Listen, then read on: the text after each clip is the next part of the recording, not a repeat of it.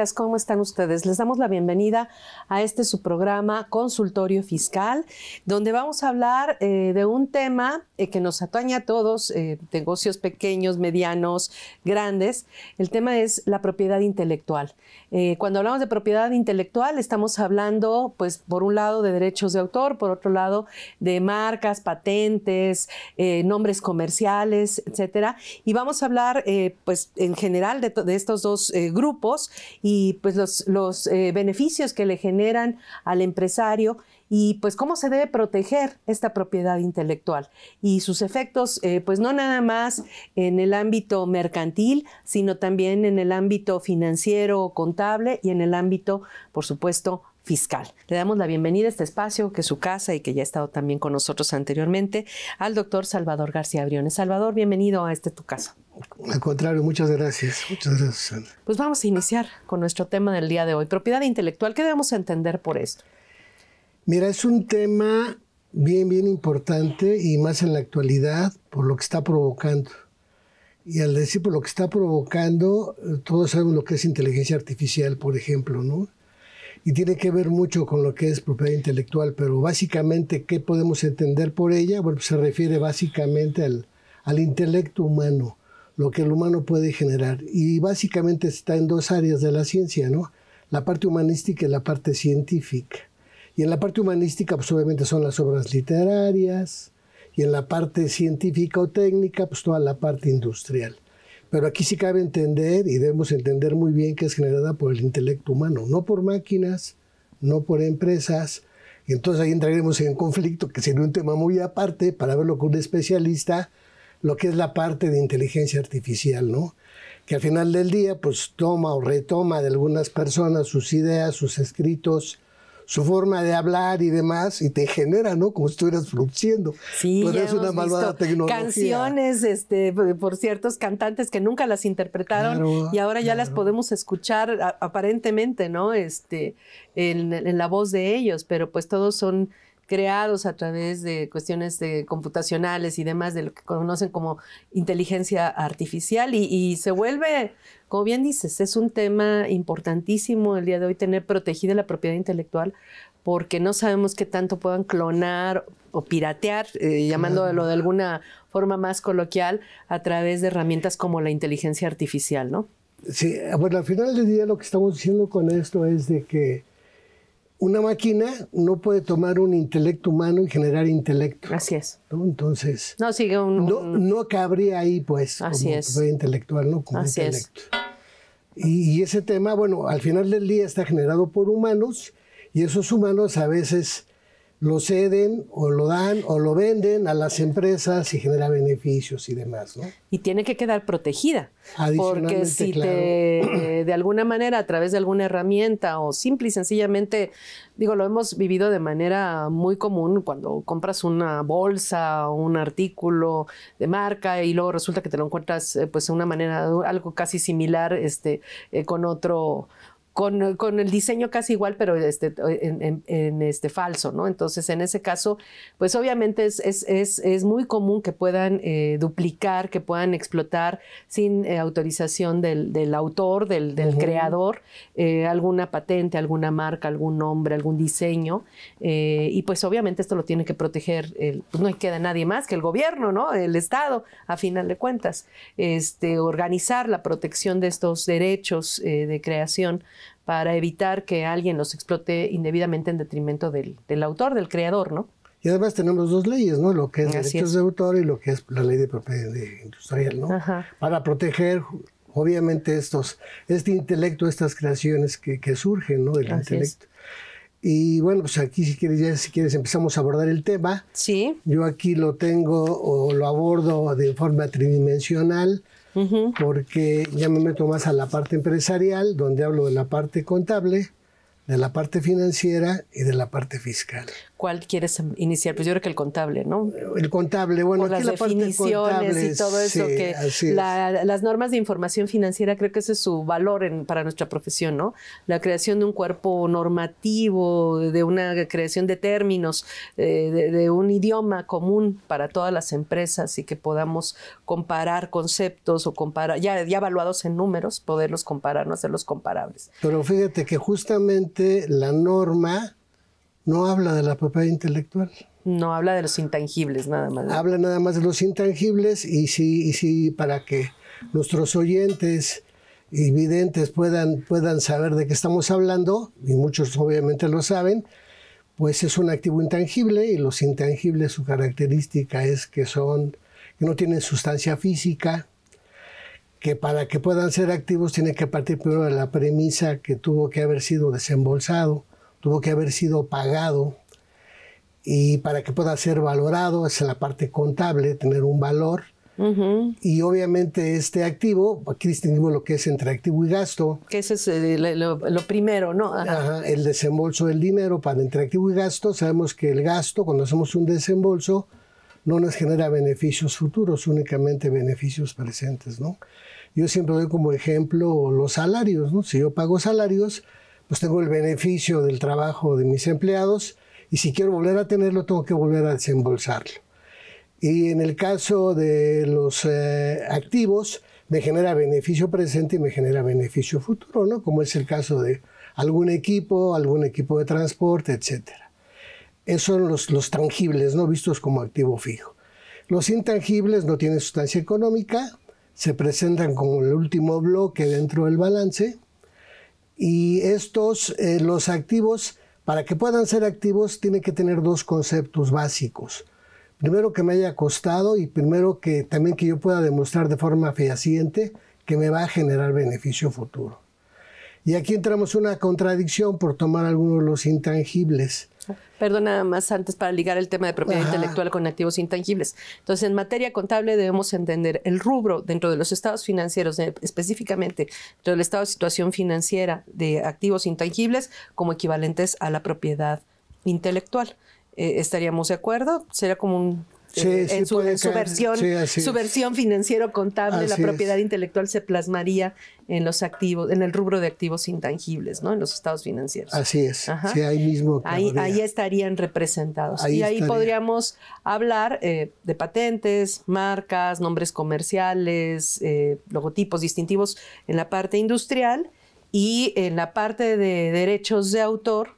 Pues estaríamos hablando de, eh, por ejemplo, de programas de cómputo, obviamente, obviamente estamos hablando de obras escritas, etcétera, que a lo mejor ya no son tan ah, asociadas a una empresa como tal, pero bueno, la Ley General de, Prote- Federal de Protección de Derechos de Autor protege todo este tipo de obras, ¿no? Obras escritas, musicales, ahí están los programas de cómputo, que es curioso que los hayan dejado en derechos de autor y no del otro lado, en propiedad eh, industrial, Industrial. pero están de ese lado, ahí están las esculturas, las pinturas, todas las obras de arte, la fotografía, todo eso está dentro de la Ley Federal de Derechos de Autor y uno lo protege el Instituto Nacional de Derecho de Autor y el otro lo protege el Instituto Mexicano de Propiedad Industrial, hablando en términos generales, ¿no? Y bueno, ya entonces ahora sí continuando con el tema eh, financiero contable, entonces hablamos de activos por la característica que señalas y son intangibles, pero entonces tienen que producir beneficios económicos Sí, digo, futuros. aquí entramos una contradicción porque, mira, en alguna ocasión eh, supe de una empresa que estaba en España.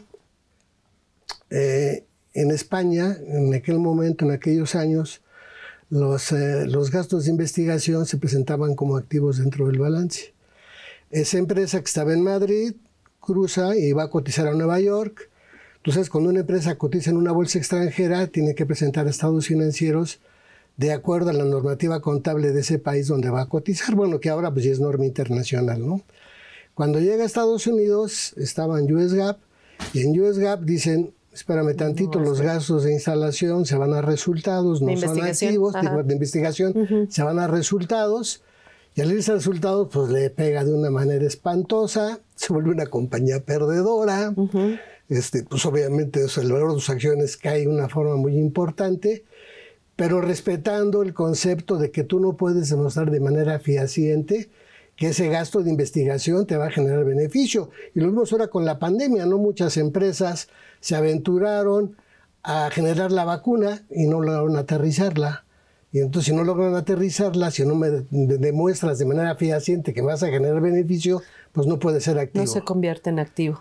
Y es muy similar, esto es muy similar a lo que es propiedad intelectual.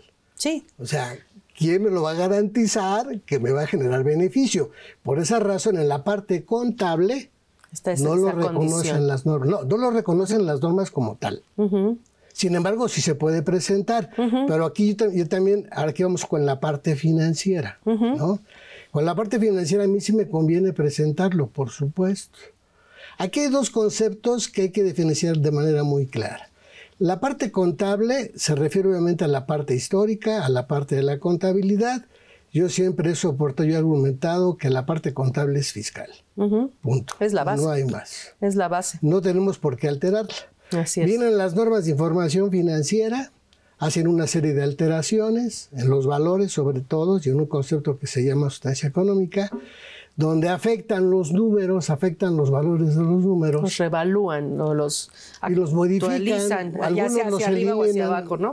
Y, este, y presentan la información, esto obviamente afecta resultados, pero... No necesariamente tienen que tener un impacto en, en la parte fiscal. Eh, ¿Eso es lo que te refieres? No lo tiene, porque además son violatorias. A mí la ley no me permite que yo reduzca el valor de los pasivos o que reduzca el valor de las cuentas por cobrar o que aumente el valor de los activos. Salvo con ciertas condiciones en el caso de las cuentas por cobrar, ¿no? Pero están perfectamente definidas pero, pero su valor no lo puedo alterar. No, el valor no. En todo caso lo puedes cambiar, quitar, eliminar de cuentas por cobrar y convertirlo en una pérdida por créditos incobrables, pero el valor es el mismo no puedo alterarlo. Estoy en contra Son valores históricos. Y entonces esa parte financiera que presentan las normas, pues para mí no son tan financieras desde mi punto de vista. Así es. Pero entonces vamos este, por partes. Entonces son activos porque producen beneficios, tienen que, tienen que producir beneficios económicos eh, futuros, si no, no son activos. Y si no son gastos. Para efecto contable. Para efecto contable. Para efecto financiero, sí. Bueno, ahorita vamos a hablar de la parte final. Primero la parte contable. Son intangibles porque no se pueden tocar, pesar o medir.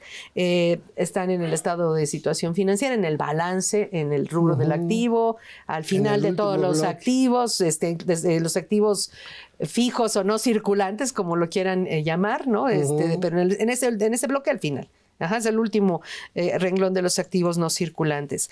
Eh, bueno, algunos eh, tienen una vida definida, por ejemplo, en un contrato de franquicia, ¿no? Eh, donde a ti te permiten usar un nombre, una marca, etcétera, y por un cierto número de años, cinco años, diez años. A una patente. a una patente también, pero ahí tienes perfectamente claro cuánto te va a durar, ¿no? Eh, si quieres abundar en ese sentido. Ah, bueno, aquí en esta parte, mira, al igual que los activos fijos, normalmente los activos pierden valor por dos circunstancias. Porque los uso o por el paso del tiempo. Y pues, igual igual con los intangibles, por ejemplo. casi todos, ¿eh? porque por el paso del tiempo los terrenos no pierden valor, nunca. Al, contrario. Igual pasa con el crédito mercantil, que también es un intangible. Y va creciendo en la medida en que tu negocio es más reconocido. ¿Quieres hablar nada más de qué es el crédito mercantil? Porque a lo mejor muchos de nuestros eh, televidentes o internautas no están acostumbrados a este término. Ese crédito mercantil, fíjate que, que la facultad, tuvimos una doctora en el área de posgrado muy querida, Yolanda Funes. Yolanda, cuando hizo su investigación doctoral, ella estaba muy basada en lo que eran los intangibles y tocaba el crédito mercantil. Eh, lo que pasa es que el crédito mercantil contablemente no se puede registrar. Es un valor que existe, sabemos que existe. Entonces, ¿por qué las empresas de repente en su balance muestran crédito mercantil? Hay una norma dentro de las normas de información financiera, que es la NIF 7, que habla de adquisición de negocios. Esa adquisición de negocios me dice, a lo mejor el, contable, el capital contable de la compañía vale 100, pero si yo pago 120 por esa empresa, ese diferencial de 20 se considera crédito mercantil. Es un valor agregado que yo le doy, que no lo puedo demostrar, pero obviamente ahí está involucrado. Ahí sí lo pagué, ¿no? Claro, ahí está involucrado lo que conocemos como capital de trabajo, ¿no? Capital de trabajo, yo para ejemplificarlo, les digo, si tenemos una empresa enfrente de otra, con, con la misma cartera, misma tecnología, mismos productos, mismo todo, y empiezan a trabajar el mismo día, a la vuelta de un año llegamos a resultados diferentes. Y llegamos a resultados diferentes por el personal que está trabajando en esa empresa. Eso no se puede medir, no se puede llevar a un balance. Entonces ese capital intelectual es parte de lo que consideramos como crédito mercantil. Independientemente, adicional también tenemos el prestigio y el nombre, ¿no? Les digo, a lo mejor, no sé, Liverpool, vamos a pensar que valga 250 millones de dólares, pero si lo quieres comprar te lo van a vender seguramente en el doble. Por el prestigio, por el valor que los dueños o los propietarios asumen que tiene su empresa, pero no está registrado dentro del balance. Si otra compañía lo compra, esa diferencia sí la va a registrar como crédito mercantil. Antes sí se amortizaba y la norma decía que eran 20 años. ¿Y por qué 20 años? Ellos explicaban el tiempo que cambia una generación, ¿no? Es un argumento así raro, pero el crédito mercantil ya no es sujeto de amortización. Porque no tiene una vida definida, ¿no? No la tiene. En los intangibles, al igual que en los activos fijos, los terrenos. Así es. Pero bueno, entonces estamos hablando de, de, pueden tener vida definida o vida indefinida en general los que no tienen vida definida, este, bueno, eh, no se amortizan. Así es. Ajá, de hecho, eh, aunque estén mostrados en algún caso este, por alguna adquisición de negocios, etcétera, en el, en el balance, ¿no? En este caso. Y eh, algunos se desarrollan. y sí, efectivamente, aquí la empresa puede desarrollar una marca, una, patente, un nombre comercial, un modelo de negocio que implica marca, patente, nombre comercial y puede eh, hacer todo tipo de operaciones con ellos, otorgar licencias, rentar la marca, eh, no sé, eh, de, alguna manera puede ser prácticamente todas las operaciones que podría hacer pues con cualquier tipo de bien mueble en un momento determinado. No, y no mueble, pues imagínate el Uber, por ejemplo, no tiene activos hijos. Y es una plataforma. Así es y cotiza en bolsa. Entonces, ahí más que eso, nada, ¿no? Ajá. Y bueno, entonces en este caso, cuando tú desarrollas estos activos, internamente dentro de la empresa que tú estás este, pues investigando, por ejemplo, en el caso de lo que decías de la, vacuna, ¿no? que una empresa se decide a crear su propia vacuna para registrarla y venderla y demás. En ese caso, pues tiene un montón de pruebas de ensayo-error, ¿no? Y a lo mejor nunca llega a tener la vacuna como tal. Ahí está desarrollando un, este, pues una patente, una fórmula que se va a convertir en una patente. Eh, Pero contablemente tiene que llevarla como gasto. Así es. Entonces aquí todo eh, eh, va a empezar a hacer una serie de gastos de pago de salarios, químicos, eh, de, estudios, viajes, en fin, mil cosas, este, licencias también, porque seguramente va, a tener que contratar algún tipo de programa, un software o X, este, para poder desarrollar este, este bien.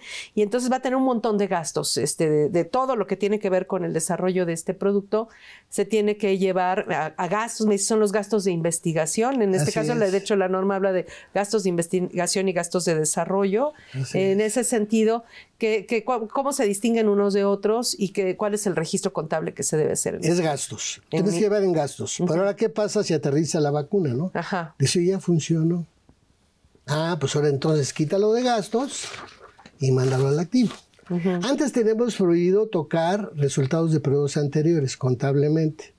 Ahora no es prohibido, sino es recomendado, ¿no?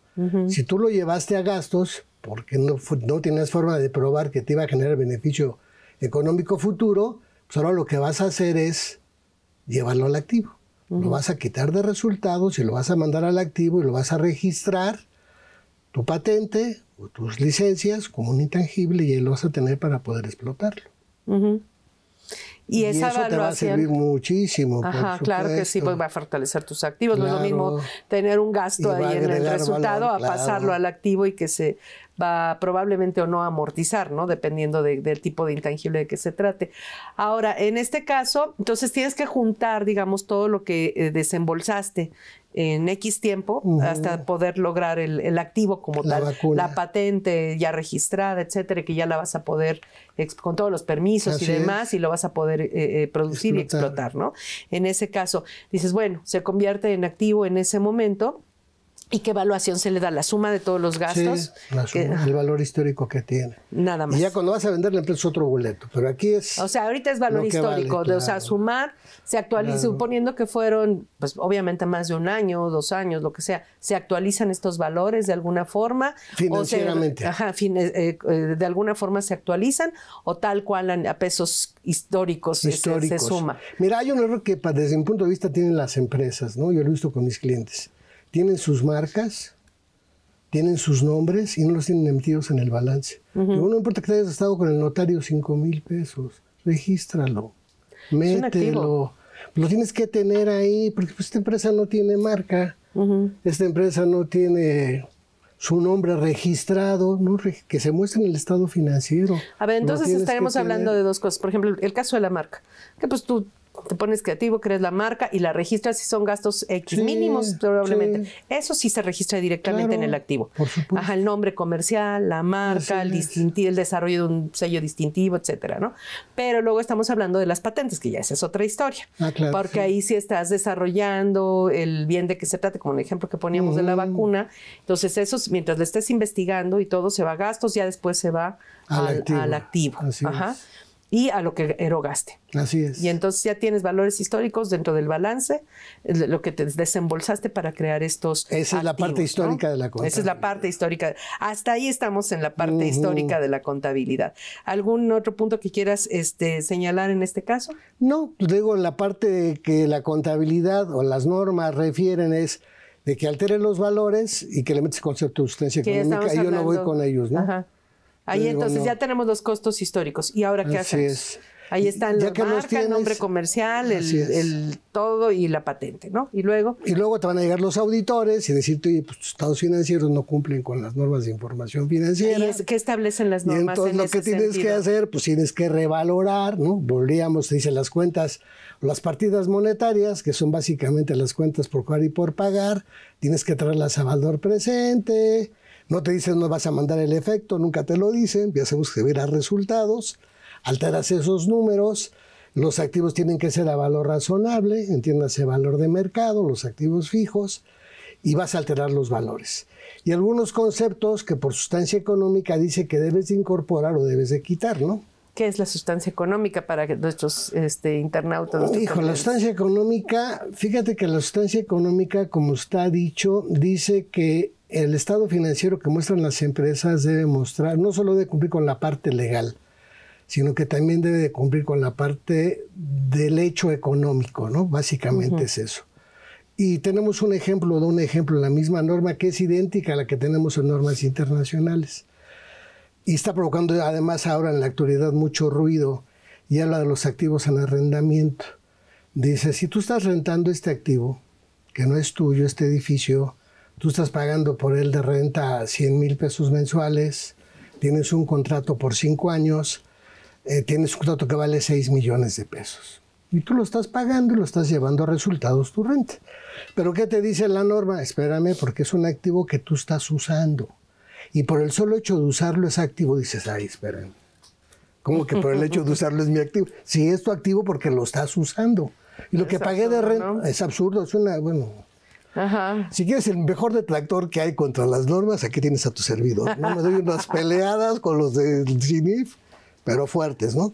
Ajá. Este, y entonces te obliga a que lo metas dentro del activo. Pero es cuando lo, de alguna manera puedes eh, eh, disponer del bien hasta cierto No, no, punto, no, no, no, Ajá. no, no, no, te obliga a que lo lleves al activo. ¿Por qué? Porque cumpliste que tienes un contrato que vale, que eso Seis pues millones. es más, no. El requisito es que tu contrato sea mayor a un año. O sea, lo que es renta pura, lo que llamamos como renta pura, se convierte para ellos como un arrendamiento financiero. Y eso es absurdo. Entonces generas un activo, generas un pasivo por el mismo importe. Luego dices, bueno, ¿y cómo lo voy a depreciar? Ah, pues el importe de tu depreciación va a ser la renta que pagas mensual. Oye, lo que pagué de renta, no te dice qué hacer con eso. Y entonces a los empresarios les mete mucho ruido que tú estés montando activos que no son de tu propiedad. Por supuesto que fiscalmente no lo vas a hacer, ¿no? Y así en un caso extremo, muy extremo, es que los- las empresas tienen miedo a pelearse con los auditores, ¿no? Yo le digo, vete al carambas, no lo hago y me pongo mi salvedad. Y además tú tienes que decir cuando haces una salvedad para el fisco si tiene efectos fiscales o no. Y la este caso respuesta no es tendría. no. Ajá.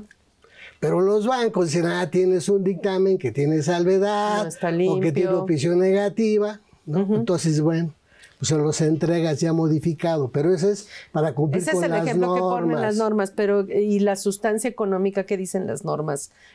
¿Cómo Eso la es, es que dice, la sustancia económica es que lo estás usando. Ajá. Y por el solo hecho de usarlo, o sea, prevalece El el, fondo, so- el- el fondo sobre la El forma. fondo sobre la forma, es más que nada eso, ¿no? Es lo que el fisco dijo, ah, pues contador. Mira, los que le provocamos mucha generación de dinero al fisco somos los contadores, la verdad.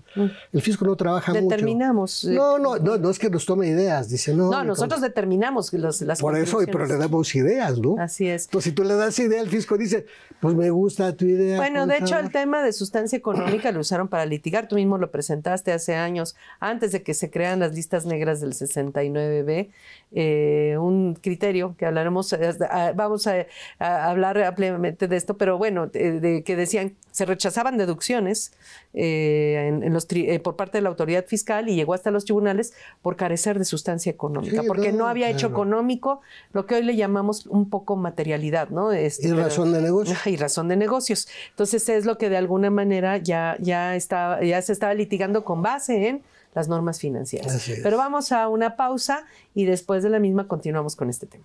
Con mucho gusto.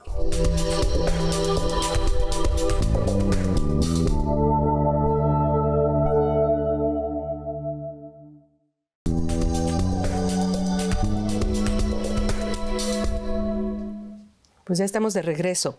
Tenemos algunos saludos y alguna pregunta también. Tenemos saludos de Diego Olvera, de Ana Luisa Torres Cabrera, ese Teotihuacán, eh, de Carlos Alberto Betancourt.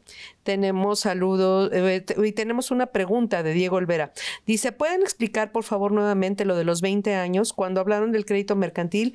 Gracias de antemano. Lo que pasa es que antes, bueno, desde siempre, cuando hablamos de activos y hablamos de beneficios económicos, fundamentalmente esperados es que en un papel ya establecimos de acuerdo a los flujos cuál es el tiempo que va a estar generando beneficios el activo, ya sea fijo o intangible. Eh, esa va a ser la base para que podamos saber qué método vamos a utilizar para depreciar. De hecho, antes la norma en la parte de los activos fijos hablaba de que fueran o a través del tiempo conocemos como línea recta unidades producidas. Ahora ya tiene mucho más métodos. Y en la parte de los intangibles, bueno, sabemos que las patentes por ley que no se han modificado son 20 años. Los permisos no pueden ir más allá de 20 años. Y entonces establecía como parámetro para amortizar los 20 años. En el caso del crédito mercantil, sin ninguna base, nada más la justificación era decir, pues lo vamos a amortizar en 20 años y la justificación que daba la norma decía que era el periodo que tardaba o el tiempo que tardaba de una generación a otra en una empresa. Eso era lo que decía. O sea, daba a entender, y yo pues, hacía mucha referencia a las empresas familiares, ¿no? Cuando los hijos toman el poder, que los padres se van, pues si, lo, si bien les va, pues lo mantienen 20 años, ¿no? y si no, adiós, ¿no? Por los problemas que todo traen las empresas familiares. Yo creo que eso se refería, y ahora en la norma ya no establece el periodo de amortización para el crédito mercantil, de hecho no lo tiene. Perfecto.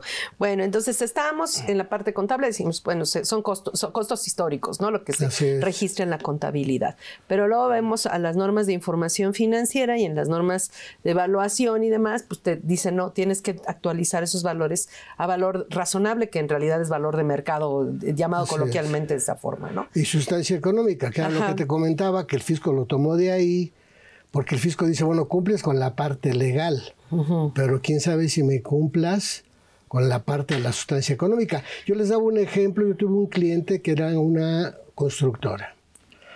Los activos ya estaban depreciados al 100%, la maquinaria. Llegó un asesor fiscal por ahí que le dio una asesoría y le dijo, ¿por qué no haces una disminución de capital y te pagas con la maquinaria? hizo la disminución de capital, se pagó con la maquinaria, hizo una donación a su hijo. Su hijo con esa maquinaria formó una empresa de arrendamiento de maquinaria y adivina quién se la rentaba A la a la empresa. empresa, ¿no? Entonces, Ajá, a ver, sí, espérame. claro. O sea, todo legalmente está, está válido, legalmente sí era válido. Así es. Que le hiciera disminución de capital y su donación y el arrendamiento.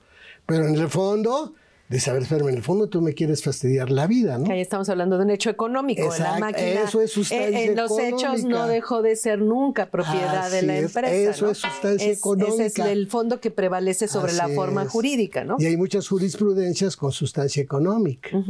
Entonces el fisco dijo, a ver, espérame, contador, si me gusta tu idea, esto que me estás diciendo es cierto. No, no, lo usaron para Y litigar y empezaron claro. a ganar en los tribunales diciendo que las Así operaciones es. carecían de sustancia económica. Estamos hablando del 2010, 2011, ¿no? Y después eh, se crea el 69B del Código Fiscal de la Federación y bueno, un poco de, de- de tratar de ajustarse a lo que es sustancia económica. No tiene eh, rastros de sustancia económica ese 69 del código cuando habla de las operaciones falsas, inexistentes o simuladas y demás, ¿no? O sea, ellos dan de alguna manera ciertos parámetros para determinar si la operación puede existir o no existir, ¿no? Es si la van a considerar como existente o no en ese caso. ¿no? Es que la sustancia económica nació en el 2006, cuando entran las normas de información financiera, ¿no? Yo desde que lo vi dije, nos va a provocar muchísimos problemas, y sí, ¿no? Así fue. Así está, ahí, ahí está el Ni hablar. 69B. Eh, Eso nos lo deben agradecer a los Y no, no, lo, lo- lo que viene además, este, Susana, ¿no? Por ejemplo, eh, tú sabes que en el método de evaluación de inventarios el fisco dijo vamos a eliminar webs y el fisco dijo me gusta su idea, eliminamos webs.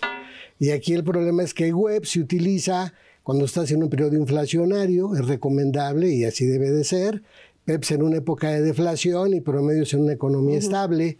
Si tú eliminas webs, estos bárbaros, como era norma internacional, yo sí les digo, eh, pues luego ve que son contadores, porque de economía ni cinco centavos en la cabeza. Sí, ¿no? la- la- Lo la- eliminaron. los- las economías son incomparables, ¿no? O sea, no es lo mismo una inflación en una como en otra, ¿no? Que bueno, el reglamento del Código Fiscal de la Federación sigue hablando de este, webs en ese caso. No sé si tienen, hay rastros en, las, en la legislación de su reglamento que, de- que no eliminaron totalmente ese tipo de disposiciones, a pesar de que ya estaban eliminados en ISR y el reglamento se emite poster- se modifica posteriormente, lo ponen otra vez en, el reglamento del Código Fiscal. Da de la mayor Federación. recaudación. Así es. Pero bueno, entonces regresando a estos temas, este, ya tienes y dices, bueno, vas a hacer la evaluación con- este, desde el punto de vista de normas de información financiera a valor de mercado, la revaluación, digamos, a valor Pero de eso va a ser mercado. únicamente para bancos, ¿no? Bueno, digamos, para eso es lo que tienes que hacer en tus estados financieros forzosamente. No, pero para bancos, Ajá, nada más. nada más para bancos, bueno, los estados financieros No. dictaminados, ¿no? No, no, no. Yo digo que es para bancos. Ahora entramos al punto de evaluar la empresa, que esa es la parte financiera, ¿no? Cuando tú evalúas la empresa, pues obviamente tienes que reconocer valores que tiene la empresa que no están reconocidos en los estados financieros. Y ahí pasa a ver si la empresa te genera o te destruye valor, ¿no?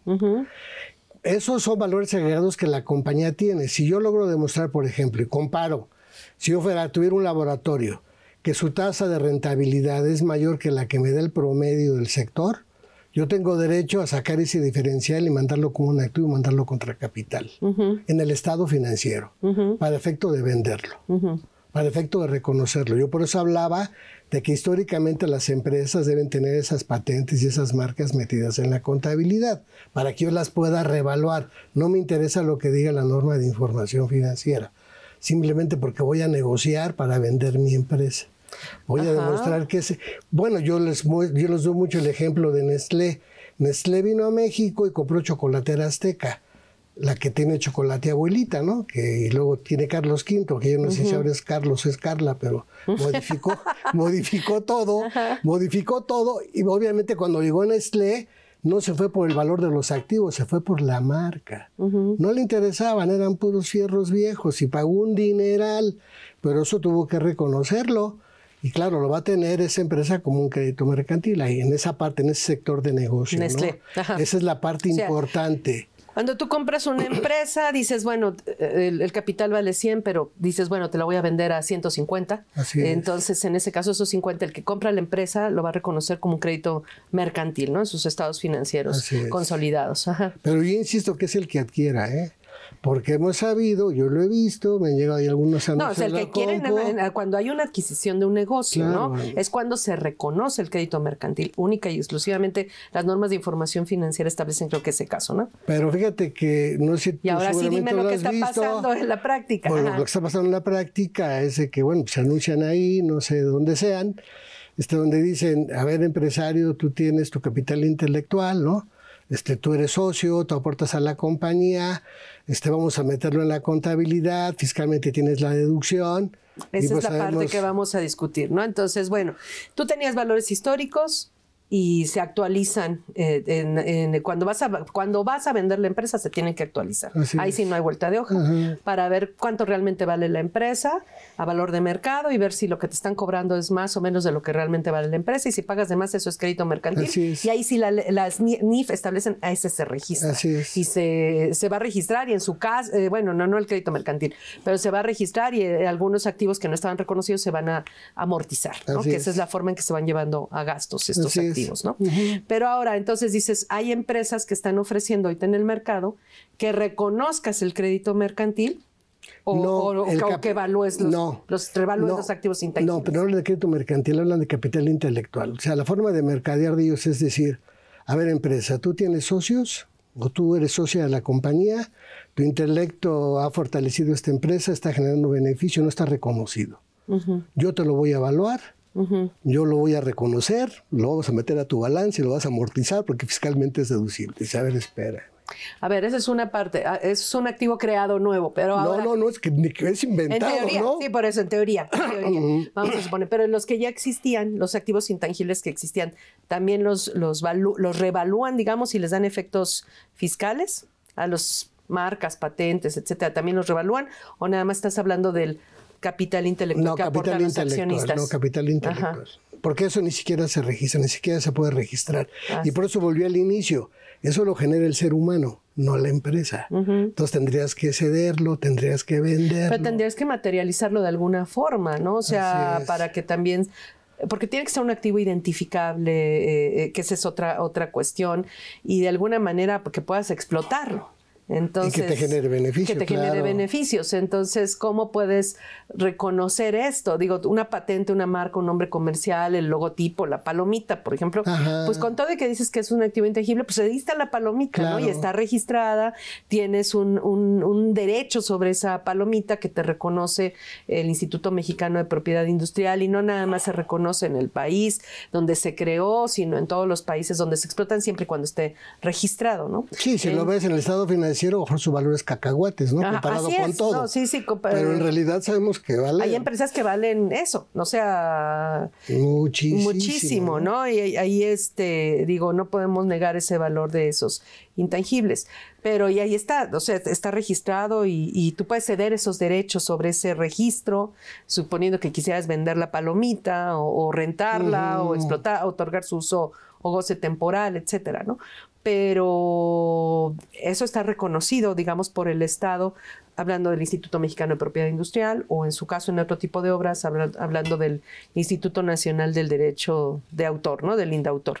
Pero mm, la aportación que hace no sé, la administración efectiva que hace un representante legal o un socio de una empresa, porque esa es otra cosa, si es una sociedad anónima, en teoría los accionistas casi, casi, pues deben esperar a que tenga buenos este, resultados el, el, administrador o el presidente del consejo de administración con su equipo y ellos presentar a ver los estados financieros. Un accionista no tiene que estar ahí, puede simplemente llegar cada año a ver los resultados y decir, pues retiramos ganancias o se quedan o qué hacemos. ¿No? Pero en teoría no es alguien que necesariamente tenga que, estar, ahí físicamente, ¿no? Este, aportando su, su creatividad o lo que sea, ¿no? Ellos pueden ni siquiera estar ahí. O sea, en teoría, una sociedad anónima es, va en ese sentido, ¿no? Entonces aquí dices, bueno, hay empresas que ofrecen este tipo de situaciones. Sí, y son muy riesgosas, ¿no? Porque entonces lo reconocen como un intangible. Sí, pero dan efecto fiscal y que tienes un No, bueno, y aquí vamos a la parte fiscal. Los intangibles desde el punto de vista fiscal se clasifican en gastos diferidos, cargos diferidos y erogaciones en periodos preoperativos, ¿no? Eh, o bueno, no, erogaciones en periodos preoperativos digamos que son los gastos de investigación y desarrollo que pues mientras no produzcan beneficios económicos futuros, pues son gastos para efectos eh, contables, pero fiscalmente dicen, no, estos se van a aplicar poco a poco en el resultado. Pues mira, el ejemplo así típico, ¿te acuerdas lo que es el reciente ahora que iba a ser hotel, no? Don Manuel Suárez toda la vida, todo lo que desembolsó, pues era gastos de desarrollo, ¿no? Nunca aterrizó como hotel, iba a ser hotel, por eso las oficinas parecen como si fueran habitaciones de hotel, ¿no? Porque no llegó a ser hotel. Se convirtieron en oficinas, ¿no? Es el ejemplo así típico de, de un gasto que no aterrizó como lo que pensaba bueno, como, hacerse, ¿no? pero a final de cuentas es, es un Sí. bien eh, tangible, es un Así inmueble, es, ¿no? O sea, la forma Pero que tenga estaba- con el- la, Ajá. explotación que se le dio, pero a final de cuentas es un, un, un bien, una- un inmueble, ¿no? Así en ese es. caso. Pero entonces, hablando del- desde el- de los intangibles desde el punto de vista fiscal, te decía, entonces hablamos de gastos diferidos, cargos diferidos y un poquito de erogaciones en periodos preoperativos, ¿no? Entonces, aquí de gastos y, y cargos diferidos, que son los conceptos que se utilizan en materia fiscal, dice que son activos intangibles, primer punto, ¿no? Entonces, segundo, y dice que pueden ser bienes o derechos que permitan reducir costos de operación, mejorar la calidad o aceptación de un producto, usar, disfrutar o explotar un bien. Y pues dependiendo del periodo, si es limitado o no limitado, pues será gasto diferido y si no va a ser cargo diferido. Fiscalmente, estos activos intangibles independientemente de lo que establezcan las normas financieras, se tienen que amortizar con un por ciento que establece la ley, ¿no? así es. Y es en X número de años, dependiendo del por ciento que te, que te establezca la ley, salvo que el beneficio se concrete en un solo año, que en ese caso sí se pueden llevar a gastos en el año en que se Claro, ¿no? claro. Pero entonces, y en este caso, para poder tener este efecto fiscal de, de amortizarse, pues tienen que tener una base de dinero, ¿no? Un costo. Y ese costo, pues la ley para efectos fiscales le llama monto original de la inversión. Y ahí habla, eh, dentro del concepto del monto original de la inversión, habla del precio del bien. Entonces, todos estos activos que estamos señalando, los gastos de registro de la marca, de la patente, bueno, los gastos de desarrollo de la, de la investigación y desarrollo de la patente, todos estos este, desembolsos pues, se van a acomodar en estos dos rubros en materia fiscal y se van a amortizar año con año en un por ciento que establece la ley, no más que eso, ¿no? Eh, con un precio perfectamente definido, que lo que pagaste por Así él. es. Y entonces aquí lo que están haciendo es reconocer como intangible, primero como activo intangible, lo que le aporta la, el administrador o los accionistas a la empresa, ese es lo primer punto. Sí, te digo, el- eso que le aportan, que están vendiendo, que pretenden vender, pues no se puede valorar, ¿no? Porque es ya capital intelectual. Eso no cae dentro del renglón de lo que es una patente, una marca. Y no necesariamente produce beneficios económicos No, futuros o o no. se pueden definir o cuantificar, ¿no? En ese caso. es. Y además es una empresa que tiene que ver, esto es propiedad intelectual, ¿no? Ajá. Es otro rollo totalmente diferente. Nada más que si lo conocen o se le asume que lo que te generan los trabajadores, el caso que daba de las empresas, una frente de otra, sí se le conoce como capital intelectual y es un problema poder valorarlo y humano, ¿no? definirlo, Ujú. claro. Eso está muy, muy, muy difícil, ¿no? Pero fíjate que Pero la medida que tienes en ese caso, hablando del capital humano, pues digamos que son los salarios, ¿no? Su costo de este eh, el costo que tiene, el, el valor que tiene la empresa para efectos de cuantificarlo, ¿no? Sí, pero fíjate que aquí, como el tema incluso era, si mal no recuerdo, estrategia, de la- estrategia.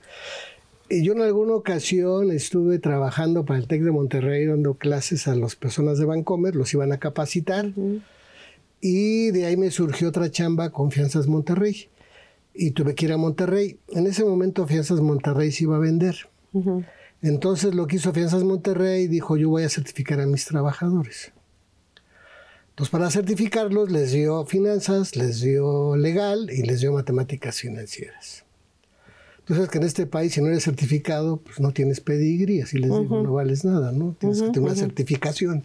Todo lo certificó, ya que estaban certificados los mandó llamar y les dijo, mira, aquí hay dos opciones. Te puedo liquidar el total y te vas de la empresa o te doy el 50% y te recontrato con un 20% más de salario, pero te vas a ir por honorarios porque me voy a vender. Ujú. Y te van a llevar. Obviamente la mayoría, el 90% dijo, dame el 50% de mi liquidación y nos vamos así por honorarios. Cuando viene La la, compra. compra, pues la vendió una cantidad importantísima.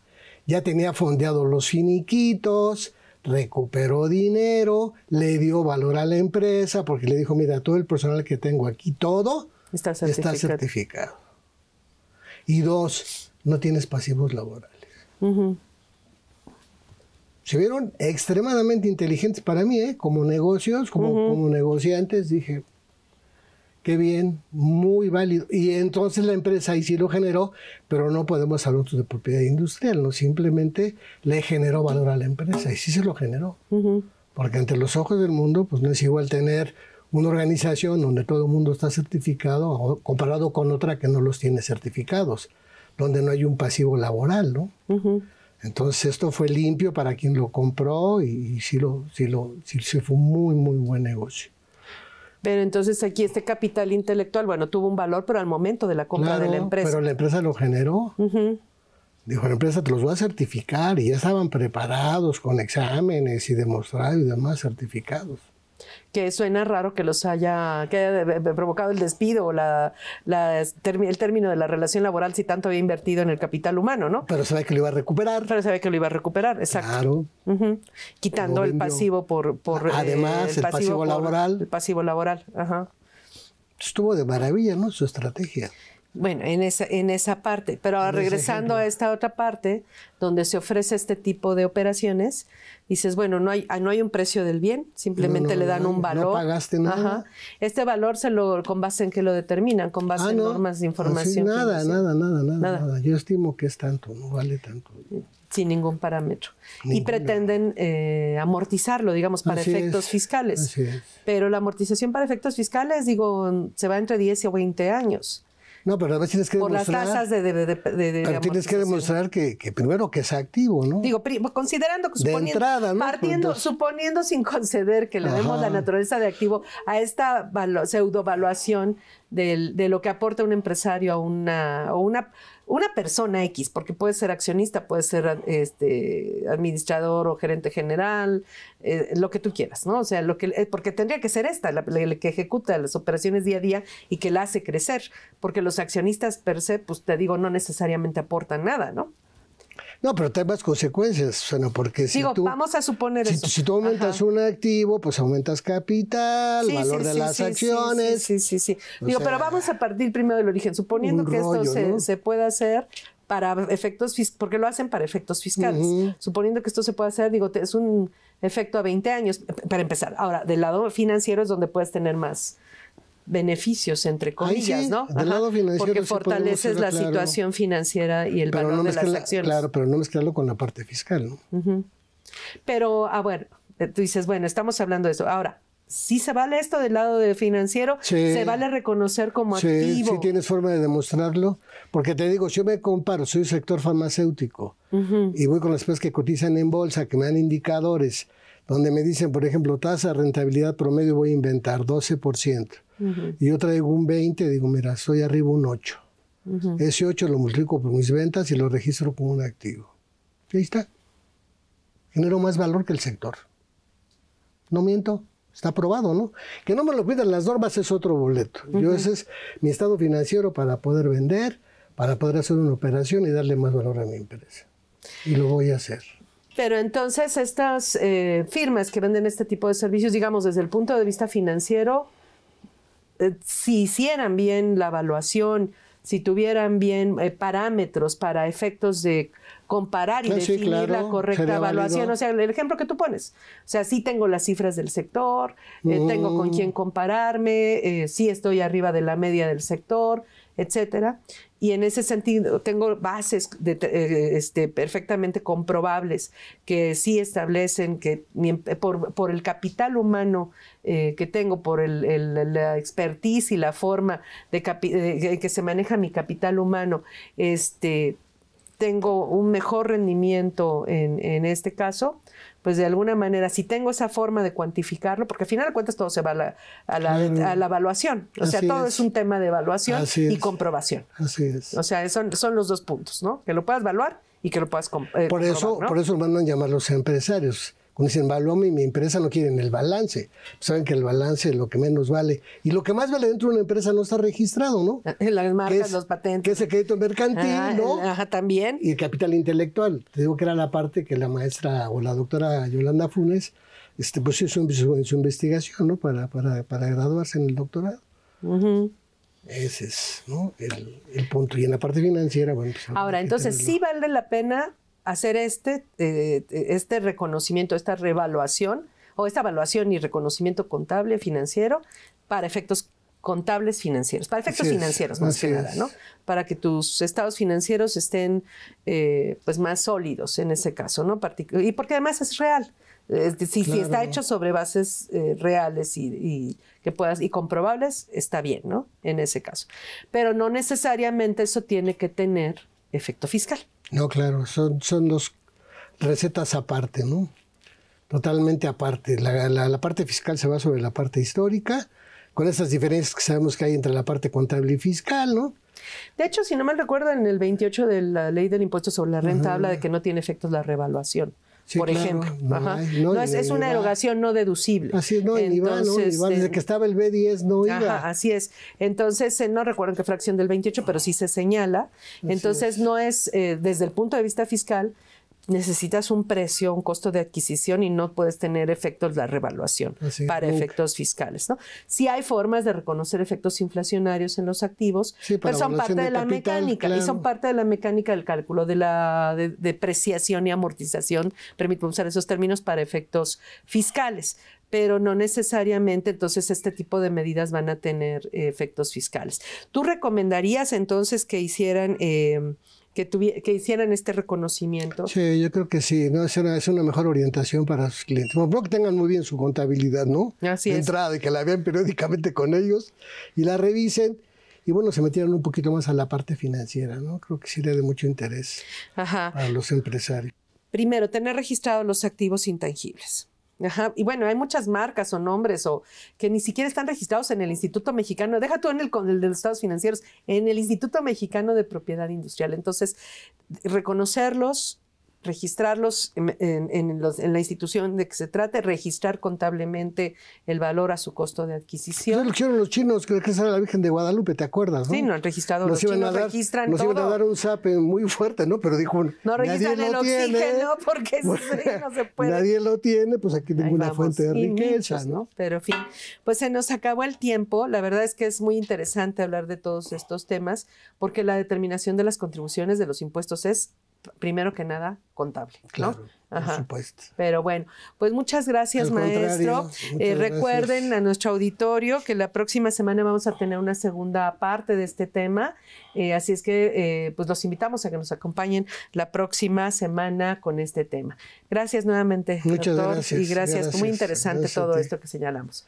Hasta luego.